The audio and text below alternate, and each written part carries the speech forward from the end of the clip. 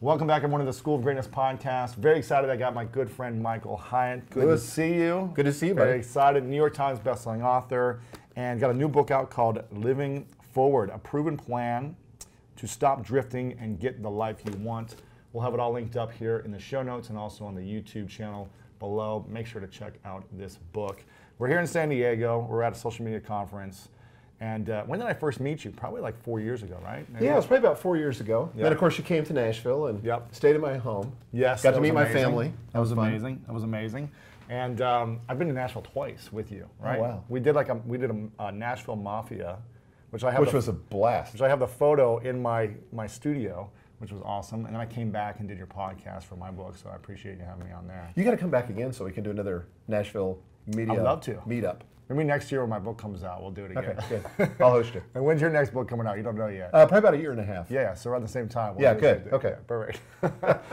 so um, Michael is uh, an incredible leader in the online space, but you're also a publisher. You you had a, a publishing company for a number of Yeah, years. well, I spent my entire career practically Uh-huh. in the book publishing world. Uh, most recently as the chairman and CEO of Thomas Nelson Publishers. Yes. But I left that in 2011 to go uh, stake my claim in speaking and online marketing and all that. Something I'd always dreamed of doing. Right. And I'm loving it. Five years, just passed my five year anniversary You, doing it. you've blown up. You, can- you wrote a book called Platform, right? First, Yes, First one? that's right. And uh, your audience is just blown up. Your blog is, I don't know, probably one of the top blogs in the leadership space. You're getting, Yep. what, a half a million visitors a month, Yep, somewhere around about, there? Yep, about a half a million. You got month. a huge uh, uh, online marketing course called Platform University, correct? Right.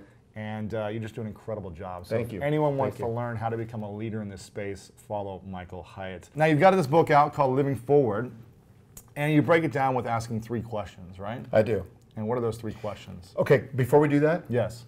um, can we talk about the drift? Because this like sets the whole thing up. A lot of people are in the drift.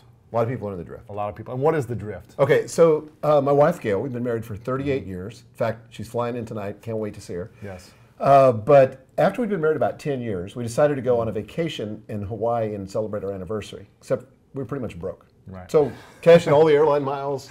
Right, uh, right. We got there, we rented a car, got a hotel, but we didn't really have any money left over for uh, entertainment. Yes. But um, we decided to go snorkeling because the lessons were free. Mm. So we took our lessons. They took us out on the reef. Have you ever snorkeled in Hawaii? Uh, yes, but not like far out. Oh far my out. gosh! Yes. I mean, it's it, insane. It exploded. Yes, it's insane. So we I said saw I saw an eel when I was doing it, and I kind of got scared, so I haven't been out. that would yet. freak me out. I saw like a little eel like hissing at me, so I was like, uh, I'm gonna go back. Well, we found out we could rent snorkeling gear for like ten bucks for the whole week. So we said, okay, cool. So next morning we went to the lagoon that was adjacent to our hotel. Uh-huh. It was the water was crystal clear, totally calm. There wasn't another soul out there. It was Yeah. really early in the morning. And we started paddling around, and it was like swimming in an aquarium. Wow. You know, all the fish, multicolored fish, the seaweed swaying in the sunlight, Mm-hmm. and we were just totally captivated. Finally, after about 45 minutes, I decided to look up. I went, oh my gosh. We had drifted, got caught in a riptide, Mm-hmm. and we were so far out to sea. Thankfully, we were together. We were so far out that the hotel looked like a postage stamp in the distance. Scared me to death. Like a mile away or something. Yeah, I don't know. I mean, it, It's far away. yeah, far away. And Gail lifted up her head. She screamed. She said, "What are we going to do?" We had a boogie board, thankfully. I said, "We're going to swim like crazy and try to get back." And I didn't even know you're not supposed to swim against a riptide. Fortunately, I think it had you know gone out by that time. Mm. Yeah. But we swam hard for 45 minutes, maybe an hour. Pulled ourselves up on the beach, collapsed, and we'd never been snorkeling again till last fall. I mean, such a scary experience. It's scary. But this is how most people live their lives. Yeah. You know, they don't wake up in the morning and say, hey, you know, I think I'm going to stop taking care of myself, start eating junk food, Mm-hmm. get really sick, and maybe if I'm lucky, I'll have a heart attack. Yeah. Or they don't, oh, you know, walk away after getting married and say, I think I'll stop dating my spouse, stop connecting, and end up separated or divorced. That, that doesn't happen. They drift to that end because they don't have an intention to do anything different. And you see it in careers, you see it in health, you see it in marriage, you see it in parenting. And so if this book has a villain, it's the drift. Because living with intention, creating a life plan is the exact opposite. And probably 2% of the people in the world um, don't fall into the drift. They're living intentionally, Right. they're creating their outcomes. But the main thing is that people never drift to a destination they would have chosen. What do you mean? I mean, you, You go to somewhere you don't want to be. you're going to go someplace you don't want to be. Yeah. You're going to find yourself. You're not going to land in success when you're drifting. I, I mean, it might happen, Right, but it's probably very not. unlikely. yeah. Yeah. Interesting. Yeah, I mean, even the ones at the top 1% who are intentional can sometimes be in the drift for a week or a month Totally. or get off track. I mean, it happens to me. Yeah, happens Yeah. to all of us. You know, where I just, uh, I mean, just recently, I just went through the book promotion here, and so for six weeks, that was all I was doing. You were, you were in the drift while you were promoting to not be in the drift. Uh, exactly. Yeah, I yeah. mean, so you know, I wasn't working out like Nice. I normally do. You're having junk food a little bit here and there. I'm you're traveling like crazy. Yep. Yeah. So you know, you just have to get back and dial it back in and swim for the shore and Yeah. get more intentional. Exactly. Interesting. Okay, so for those that are in the drift already, is it too late for them? Absolutely not. Okay. Yeah, that's the cool thing. Yeah, so there's at any point along the way you can get intentional, and, and what Daniel and I advocate in the book is creating a life plan. Yeah. Now, I I don't know how much experience you had creating strategic plans, but in the corporate world where I came from, That's all you do, huh? I I mean, we'd go off for a three day retreat with 70 people. We'd create this huge strategic plan notebook, and it would have timelines and resource lists and Gantt charts and all that stuff. We'd bring it home, put it on the shelf, never look at it again. Right. So that's not what we're talking about. Right. So with a life plan, you're talking about a brief, simple document that you create. You can't outsource it, mm-hmm. but it's only about 12 to 15 pages long. Right. But it covers every area of your life, and it really talks about what you envision for a better future. What are the destinations that you want to visit? What does perfect health look like for you? What does mm-hmm. a great relationship with a significant other look like? What does your career or your business look like? Right. And so we take you through that process in the book, and that's where the three questions come in. Amazing. Okay, so what are the three questions? What's the first one? I thought you'd ask that. Thank you. Uh, the first is the first one is how do you want to be remembered? Ah. Now, here's why this is such a powerful question. Um, Stephen Covey said, "Start with the end in mind."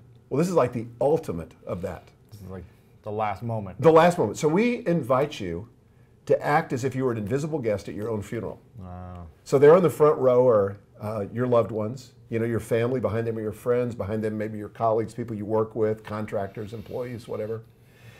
And what would they say if they were asked to step up to the mic and give a eulogy?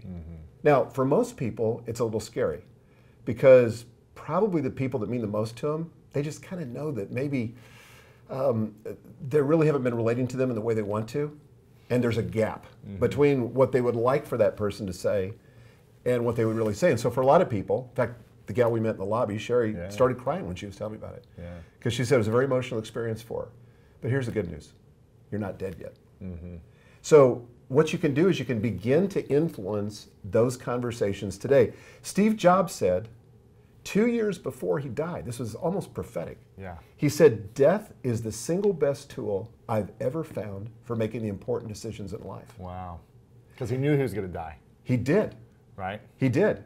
And so we take we take you through these legacy statements where you create these legacy statements in terms of how you want to be remembered by the people that are most significant to you. And it's a powerful, powerful exercise that's designed to do one thing, give you clarity about what's really important. Yeah. Because you can begin to inform those conversations now. My um, and there's always conversations at a funeral. You know, you're talking about the deceased, you're talking about what they meant to you, what was the legacy of their life. And sometimes we think legacy is for somebody like, you know, Margaret Thatcher or Abraham Lincoln had a legacy and Bill Clinton will have a legacy and but the truth is all of us are going to have a legacy. Yeah. The only question is, is it going to be a good one or a bad one? What's the mark that we're going to leave in the world? So back in 2005, my father-in-law died. He was a Air Force colonel, had lived an incredible life, left behind this great legacy and his five children, including my wife, who was the mm-hmm. youngest. And he and I were very close. He meant the world to me. And so he had this full military funeral where the jets were flying Wow. over and 21 gun Guns. salute, Oh, wow. all that stuff. I don't think they do that anymore. but emotional. It was very emotional. The flag on the thing and everything. Yes, Oh my presented gosh. it to my Oh. mother-in-law. So then, um, fast forward to at the end of the funeral, we go back to my house. All the relatives there, all the friends, Mm-hmm. and we're hauling out these photo albums, and we're just telling these stories. Mm-hmm. You know, we're laughing, we're crying, and we're talking about what he meant to us. Yeah. And it dawned on me, we can begin to engineer those conversations today Yeah. by being intentional in the relationships that matter most. Mm. And so that first question is really powerful. How do you want to be remembered? Go to the end of your life, Mm-hmm. get clarity, because the truth is we're not going to live forever. That's kind We're of the. not? We're, I, I know it's a, Technology can't advance that. well, you know, hopefully we're going to live longer, Longer, yeah. but probably not forever. yeah, maybe in like a couple thousand years, someone will figure out a way to make us live a few hundred years. Forever, Who knows? yeah. forever. Who knows? Anything's possible in my mind. Um, interesting. So, what's your answer to the first question? Well, my answer to the first question, because I've written down these series of legacy statements, Yes. and I'll just tell you a few of these. Like I talked about Gail. Here's what I said about her. Here's how I want to be remembered. I want Gail to remember how I loved her, understood her, pursued her, and helped her accomplish her dreams. I want her to remember specific times that we shared together, times we laughed, times we cried, times we spent discussing things that were important to both of us, and times we just held one another and watched the sunset. Hmm. Here, here's another one. This this is one for my followers because you and I, you know, have Yeah. followers in social media, and I actually wrote a legacy statement about those. Wow. So I said, I want them to remember my transparency, authenticity, and generosity. I want them to remember how I exceeded their expectations and gave them compelling, life-changing content and resources. Most of all, I want them to see in me a model of a life worth emulating. Wow. It's pretty powerful. So just trying to get clear on what, what the end game is here. Mm-hmm. So that's the first question. I love it. Okay. So, question one: get clear on the end. That's right. Okay. Question two. Question two is what matters most to you? Now, most of us know what's important to our spouse or our significant other. We know what's important to our boss if we have a job. We may know what's important to our shareholders if we're running a company, or mm. what's important to our society. But this is a question about what's important to you. Because the myth is we can kind of do it all. Yeah. Well, we can do anything we want, we just can't do everything we want. So we have to make decisions. And the truth is, our lives, where you're at right today and where I'm at today, is in large part a result of all the decisions that we made along the way and our priorities. Hmm. So, in this exercise, what Daniel and I help you do is identify the major life accounts, and we refer to them almost like a bank account. You know, like you've got a relationship if you're married with your spouse, and that's like a bank account that can be overdrawn, you know, hmm. or you can have a surplus in it, or you could be kind of spending what you're bringing in. Yeah. Same thing with your health. Same thing if you're a parent with, you know, same thing with your job. Uh, same thing with your career, your finances, all that. So all these life accounts, how do they stack up? What's the priority? So for me, you know, this is just, I'm a person of faith, so God comes number one. Yeah. But number two is kind of a surprise to people because I put myself number two.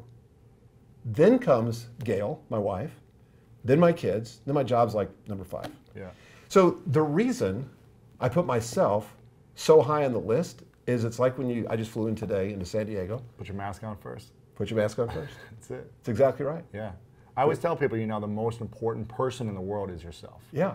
And if you're neglecting all of your needs first and giving to everyone else but not to you, then you're not going to be able to serve more people. That, well, that, that's the key, what you just said, Lewis, because to me, the essence of leadership is service. Yes. I want to serve my wife. I mm-hmm. want to serve my kids and my sons in law and my grandkids.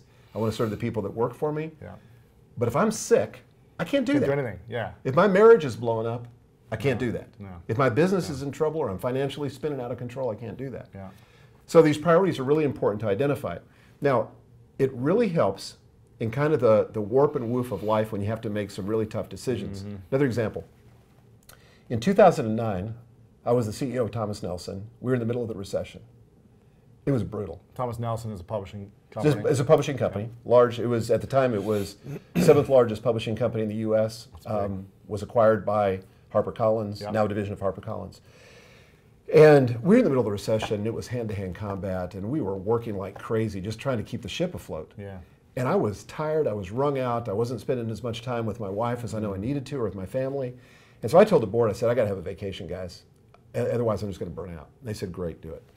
So we decided we're going to go to Colorado, deep in the Rockies, and just unplug and unwind. Mm. And we love Colorado. So yeah.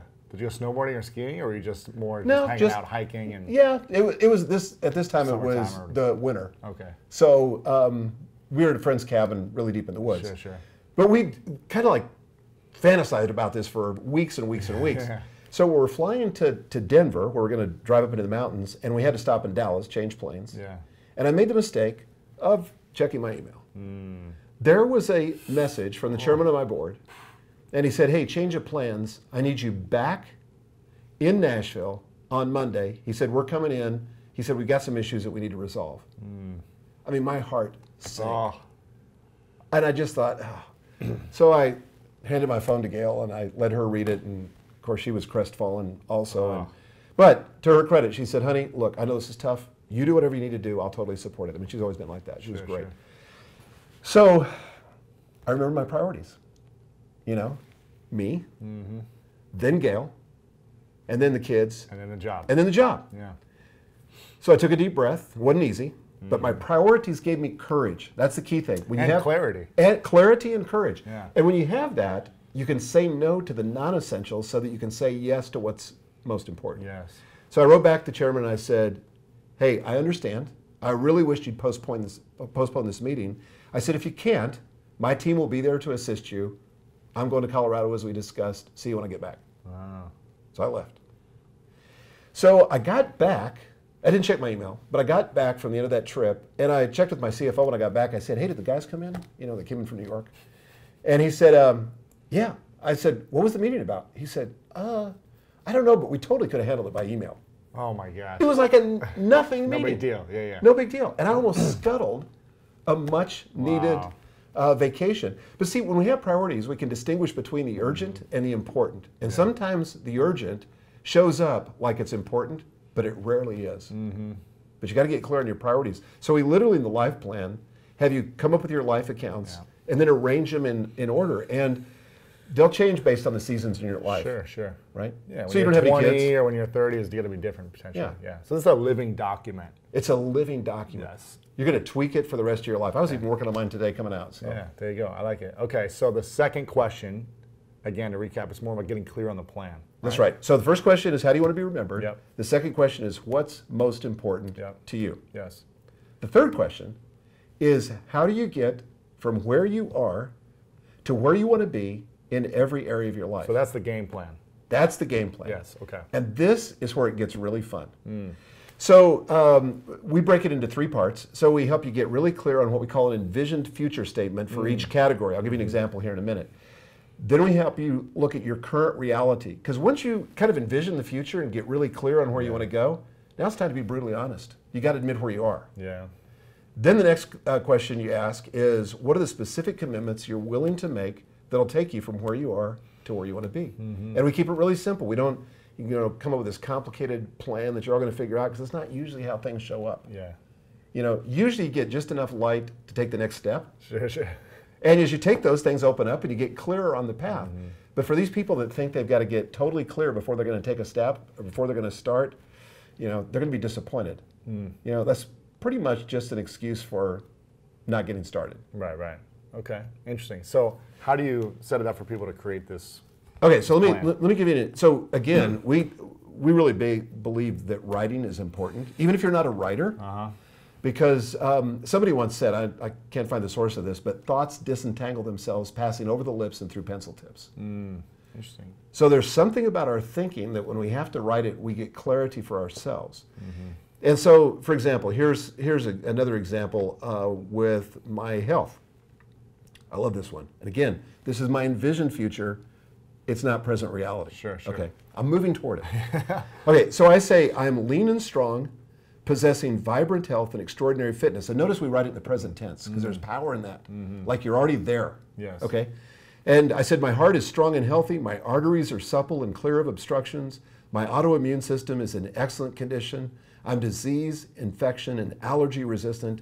I have more than enough energy to accomplish the tasks I undertake.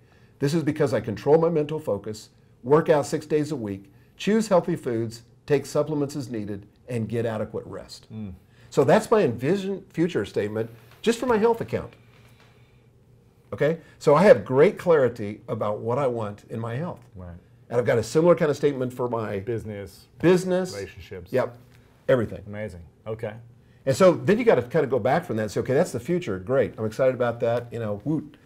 But where are you today? Yes. You know, maybe you're a couch potato and you haven't worked out in six years. And, you know, you got to start where you are. Yeah. But getting clear on the future is important. And a lot of people bail on that. They don't give themselves permission to dream. Hmm. And the book, we give you permission to dream. Why do people not give themselves permission? You think? I think people go to why, or excuse me, go to how before they go to what. How am I going to do this? Yes. How would I even achieve that? Yeah, I mean, you see this in business, right? Yeah. You know, you see people, they say, uh, you try to get them to dream about their business. They go, well, I, I couldn't do that. I, I, am not good in front of a camera. Or I, I, I couldn't do that because I don't have the capital to invest in it. Mm-hmm. Forget the how.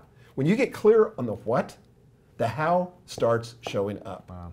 So vision before strategy mm. every time, all the time. What would you say is your vision for your business right now, moving forward?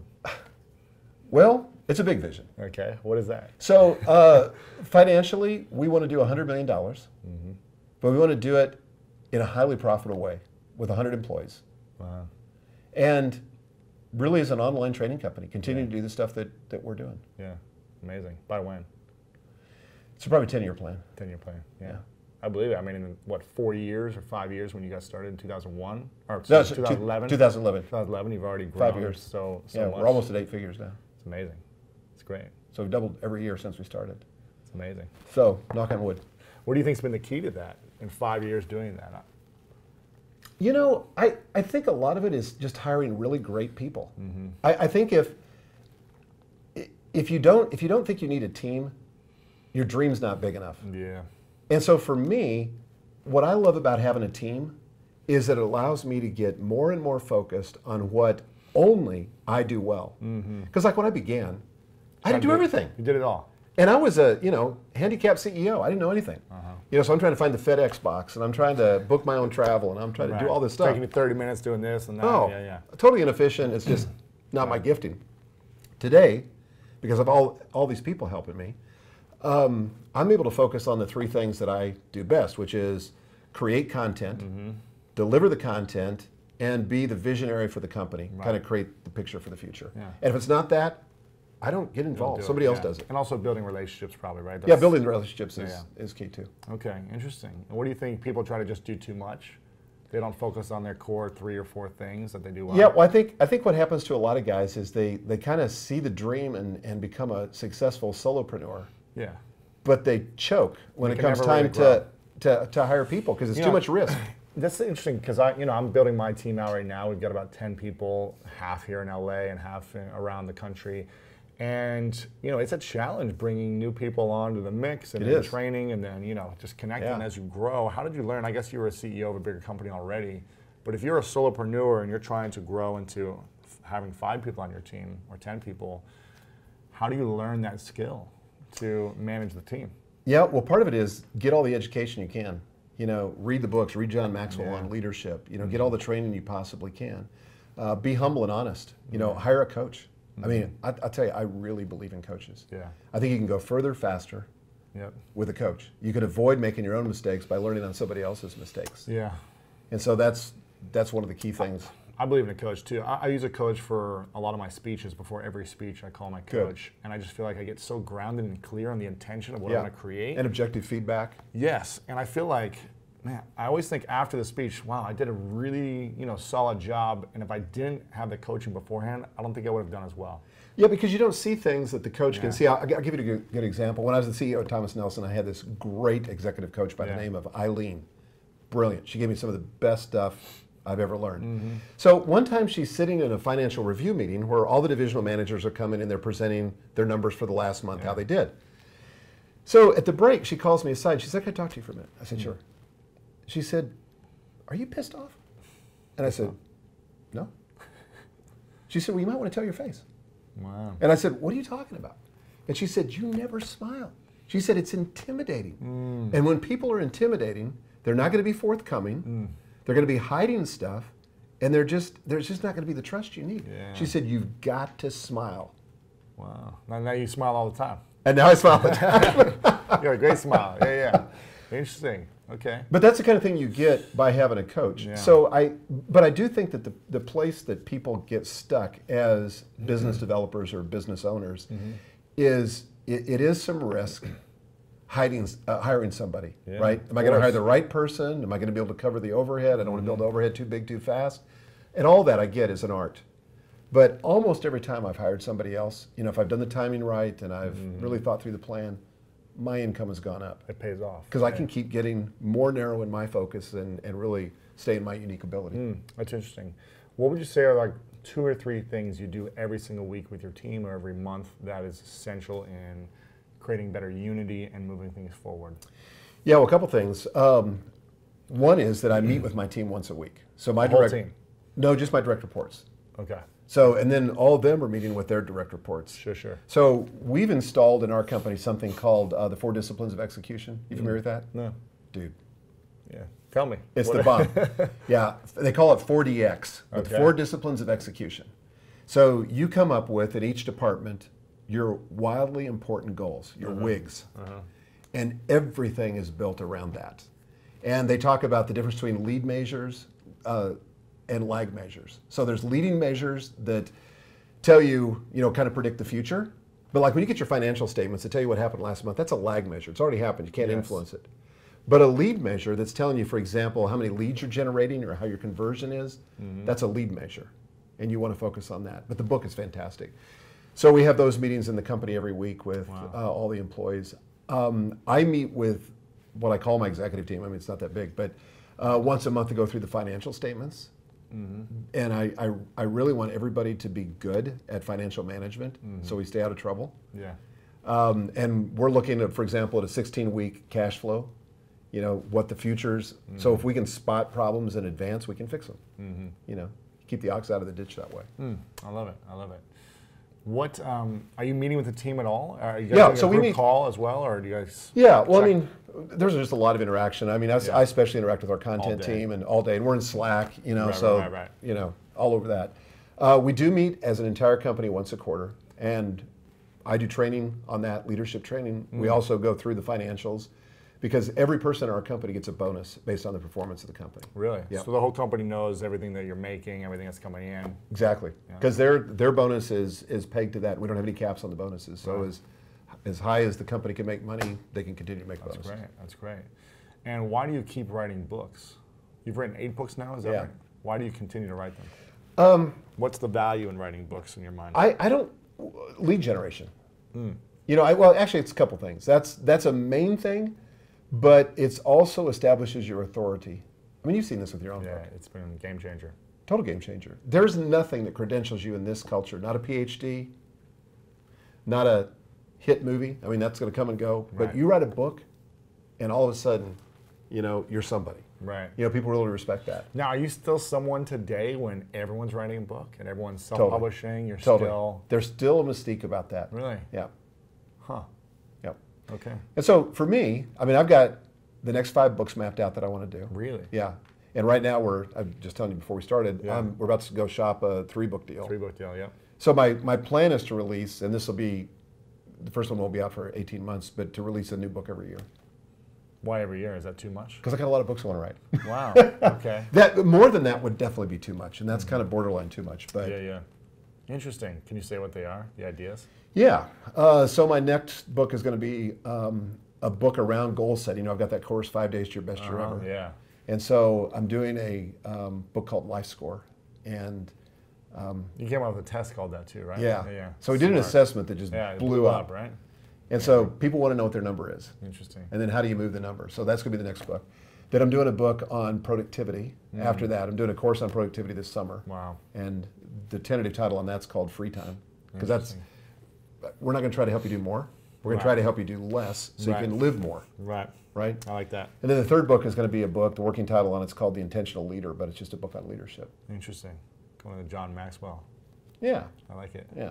Doesn't he have a book called Intentional Living? Last does. book? Yeah. So intentional Yeah. leadership. But my company's been called Intentional Leadership Right, right, right, right. long before his book. came. Exactly. Yeah, yeah. It's great.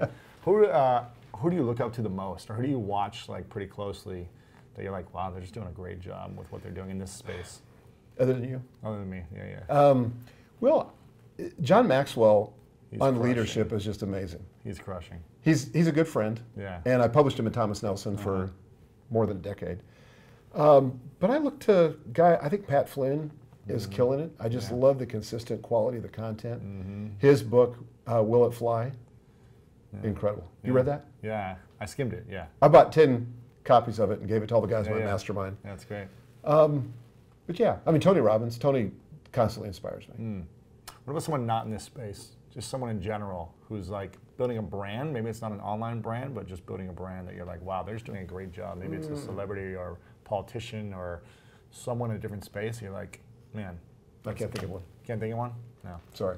that's okay. It's okay. What is the biggest challenge for you right now in your business?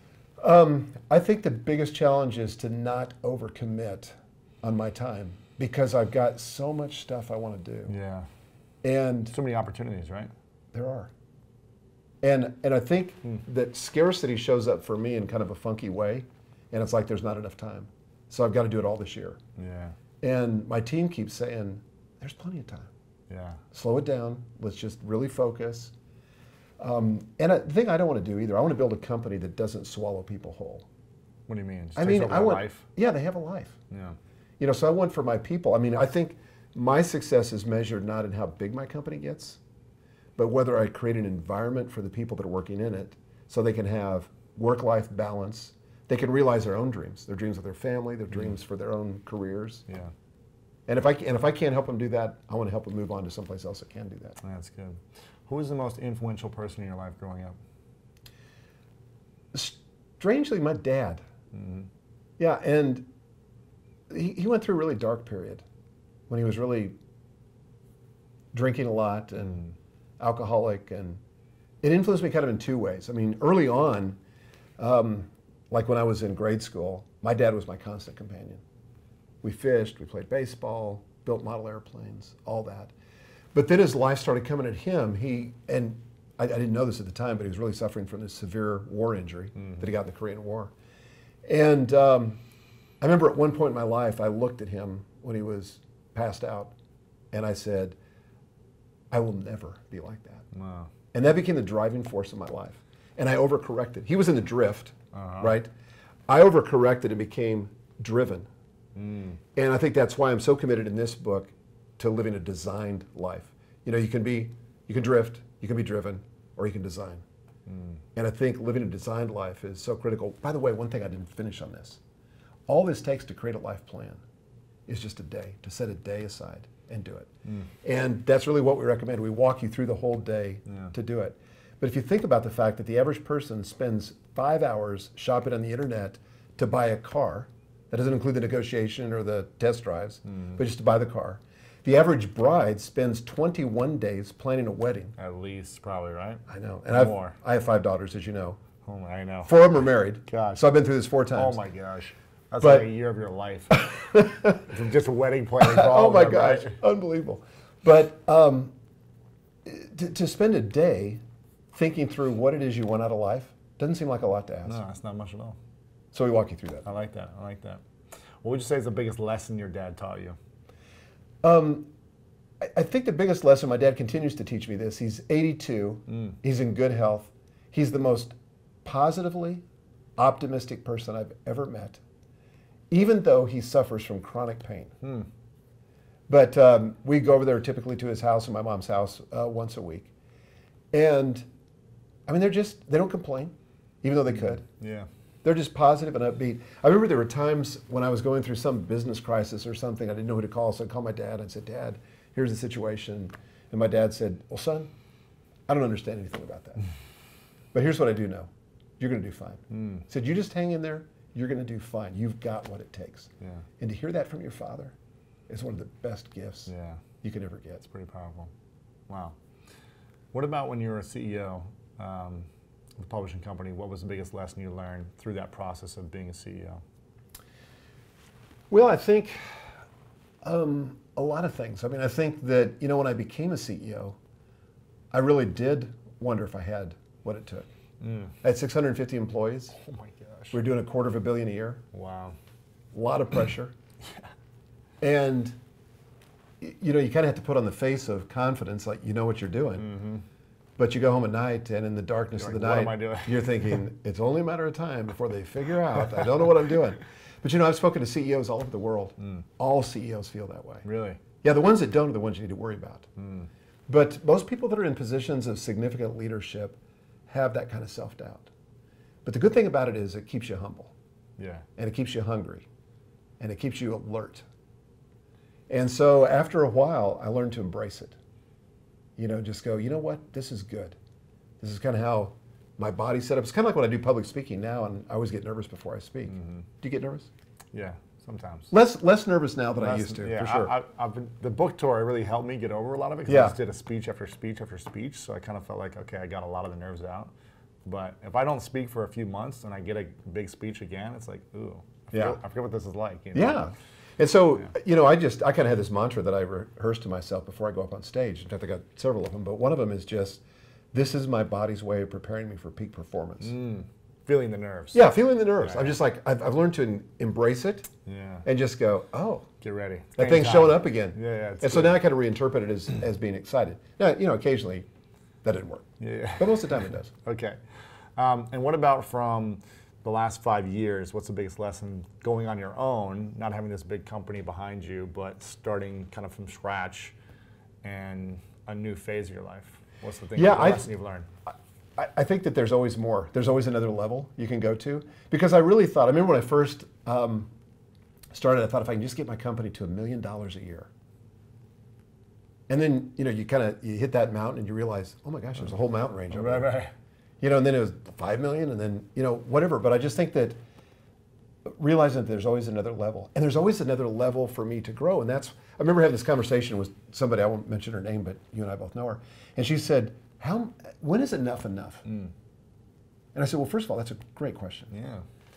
but you know, certainly in terms of material things, I don't need any more stuff. Sure. You probably don't either. Yeah. You got a But- great home and Yeah, I got a great home and I've got, you know, all the toys. I'm, I'm going to get bored with that stuff. Yeah. That doesn't really challenge me anymore.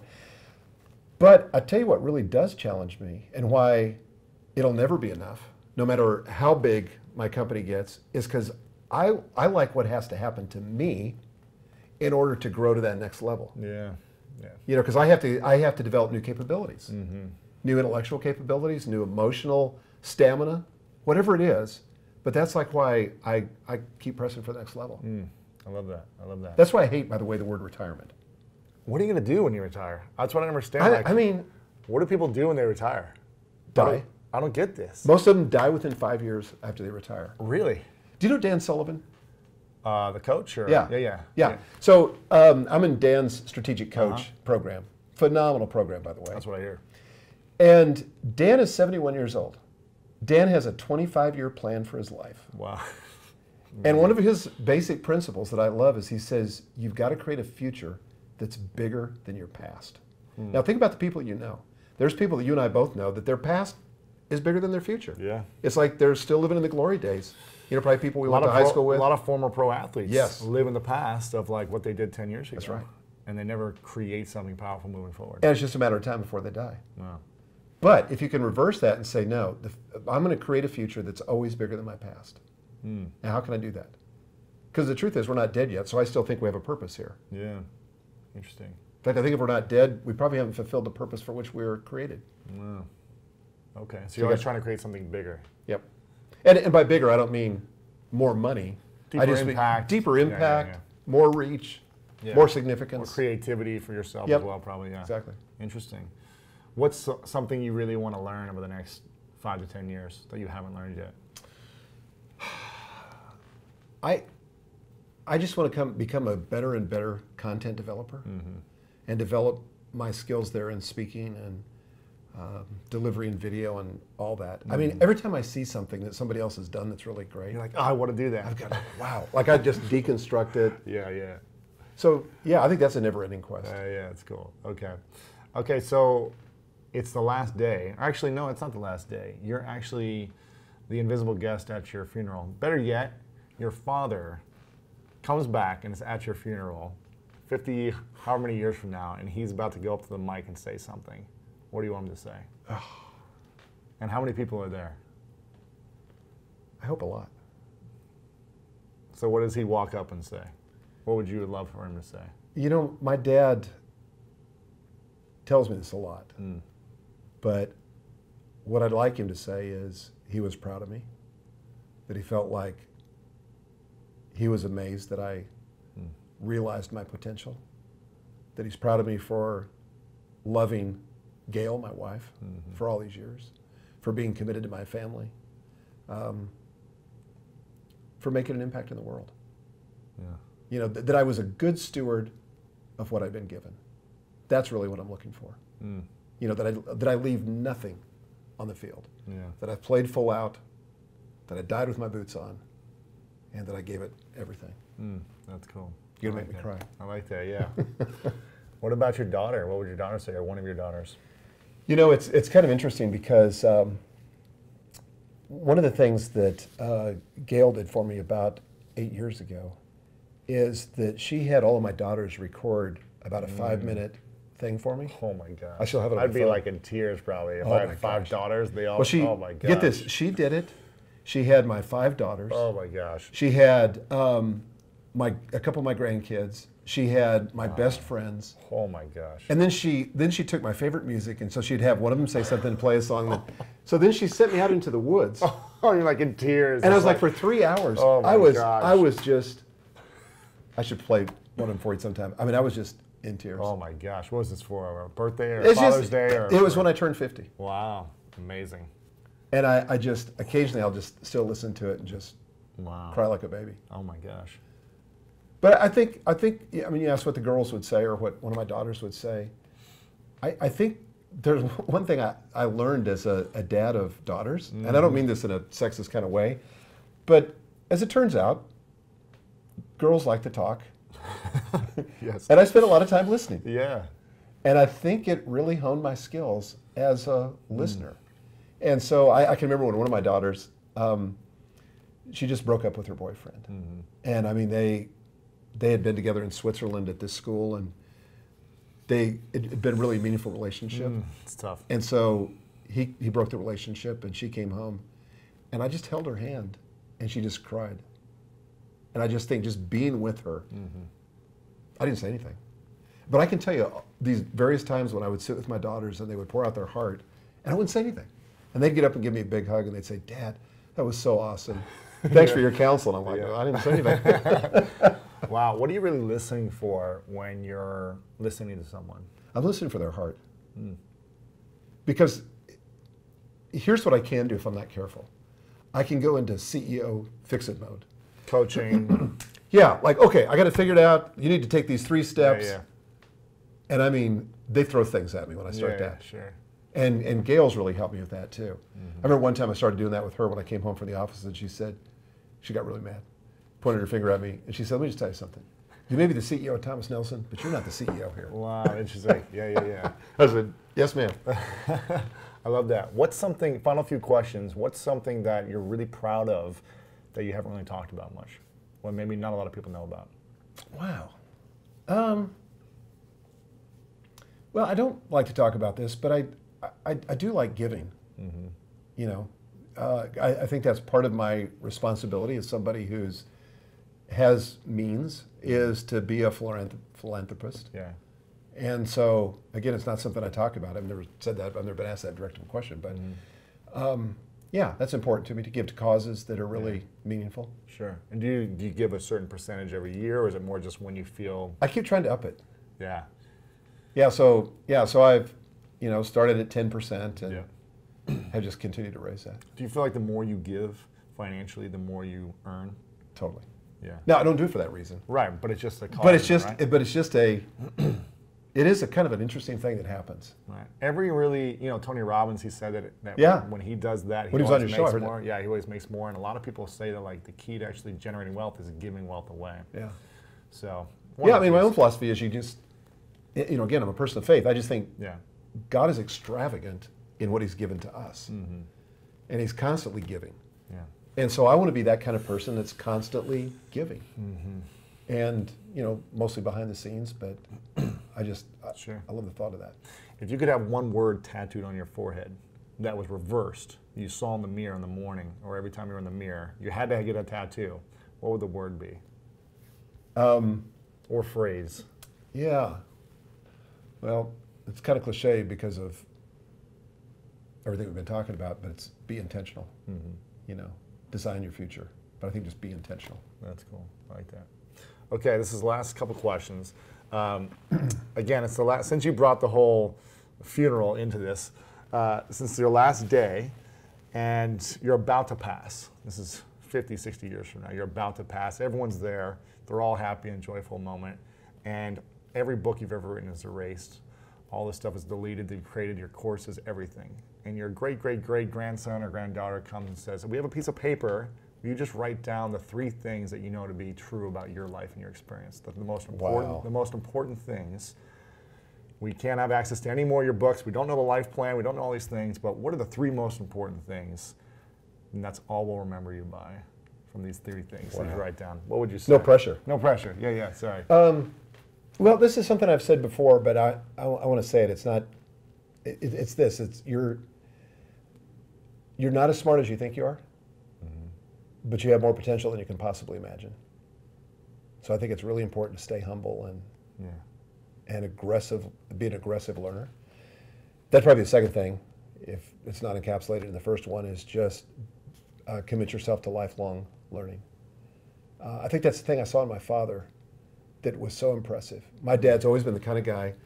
Um, he joined the Marine Corps when he was 17. Didn't, didn't finish high school except by GED while he was in the military, mm-hmm. but has always been an incredibly aggressive learner. So if he decided he wanted to learn something, he'd go buy all the books and just start pouring through them. Yeah. And I saw him do that time and time again. So I think be an aggressive learner. And I'd say the third thing is make it your life goal to love well the people that matter most. Mm. Because at the end of the day, I mean, that's what people are going to be. Yeah. They're right. That's it. That's it. So nobody says, you know, everybody points this out. Nobody says, gee, I wished I'd spent more time at work. Yeah. Or I wished I'd written one more book Or made more money. or made more money. Can't take it with you. No, you can't. Yeah. I love that. That's good. Three, three truths. What are you most grateful for in your life recently? Um, I just think the privilege of living at this time, Mm-hmm. at this moment, where we have things amazing. like the internet, It's amazing. where we can build these businesses, Yeah. have the kind of freedom to create, kind of create the life, design the kind of lives we want. I just think it's the most amazing time. I, I mean, I wonder, will they be saying this 100, 200 years from now? Probably. Who knows? But it's it's just, I just feel so grateful Yeah. for that. That's cool. Uh, before I ask the final question, I want to make sure everyone goes and gets the book, Living Forward, and you go to michaelhyatt.com to get all the information there, subscribe to your newsletter. Where are you hanging out the most online for people to connect with you personally? Uh, probably Facebook today. Yeah, facebook.com forward slash Michael Hyatt. There you go. Awesome. And um, before I ask the final question, I want to acknowledge you, Michael, for your incredible intentional leadership. Because again. I've told you this many times before that you are like this the the top person I think of when I think of integrity and inten- and being intentional and grounded. you. You're such a symbol of inspiration, I believe, for me and for so many people. I mean, just the person, Sherry, who we met at the, in the uh, lobby here, you know, just so many people love what you're doing. It's because you live such a great life and you're a great example for the rest of us. So I, Well, want to, I want to acknowledge you for your constant ability to learn, to grow, and to give uh, unselfishly to so many people. Wow. So I acknowledge Well, I appreciate that. Yeah, Thank you. Of course. Final question is what's your definition of greatness? My dep- definition of greatness is somebody who makes a huge contribution in the lives of others, somebody who actually stands for the greatness of other people, hmm. and somebody who's persistent and won't give up on other people till that greatness is manifest in them. And I think all of us need somebody like that, somebody who will stand for that when we're in a dark place, when we're wondering if we've got what it takes, hmm. but somebody that can stand for us and say, you know what, I believe in you, Lewis. I'm standing for you. Michael Hyatt, thanks so much for coming Thanks, on. Lewis. Appreciate it. Great to be with you. Yeah. Hey guys, thanks so much for watching this video. I really appreciate it. And if you enjoyed this video, then make sure to subscribe to my YouTube channel. You can do that by clicking right here to subscribe because each week we come out with awesome, epic, and inspiring interviews and messages and videos just for you. So click subscribe right here to get notified of new videos every week. Also, if you enjoyed this specific interview, we've got a lot of great interviews like this that are uplifting and inspiring. So click right here to watch the previous interviews because the people I've had on are pretty cool and epic as well. So click here to watch previous interviews. Click here to subscribe. I love you guys, and I'll see you very soon.